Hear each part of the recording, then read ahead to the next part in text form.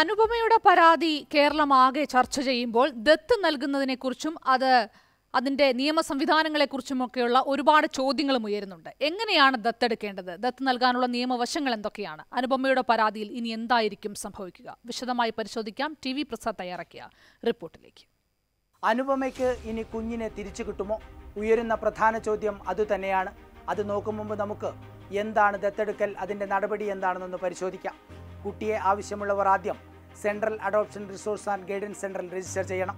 പിന്നീട് ദത്തെടുക്കേണ്ടവർക്ക് അനുയോജ്യമായ കുട്ടിയെ കാണിച്ചു കൊടുക്കും. കുട്ടിയെ കണ്ടുകഴിഞ്ഞാൽ ദത്തിനുള്ള ഏജൻസി കോടതിയിൽ ഹർജി ഫയൽ ചെയ്യും.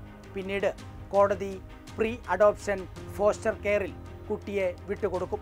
കുട്ടിയുമായി ഇടപഴകാൻ കഴിയുമോ എന്ന് നോക്കാനാണ് ഫോസ്റ്റർ കെയർ വഴി വിട്ടുകൊടുക്കുന്നത്.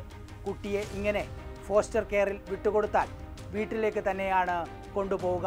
ഫോസ്റ്റർ കെയറിൽ വിട്ടുകൊടുത്താൽ സാധാരണഗതിയിൽ കോടതി രണ്ടു മാസത്തിനകം ദത്ത് ഹർജിയിൽ തീർപ്പ് കൽപ്പിക്കും.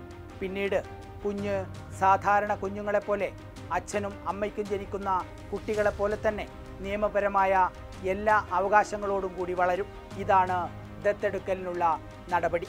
ഇനി നമുക്ക് അനുപമയുടെ കാര്യത്തിൽ എന്താണ് സംഭവിക്കുക എന്ന് നോക്കാം. ദത്തിൽ തീർപ്പ് കൽപ്പിക്കും മുമ്പ് കുട്ടിയുടെ അമ്മ പരാതിയുമായി വന്നിട്ടുണ്ടെന്ന സത്യവാങ്മൂലം സർക്കാർ കോടതിയെ അറിയിച്ചു. അതേസമയം തന്നെ ശിശുക്ഷേമ സമിതിക്ക് ദത്ത് നിർത്തിവെക്കാനുള്ള അപേക്ഷയും കൊടുക്കാം. പിന്നാലെ ചൈൽഡ് വെൽഫെയർ കമ്മിറ്റിക്ക് കുട്ടിയുടെ ഡി എൻ എ പരിശോധനയ്ക്ക് അയക്കാം.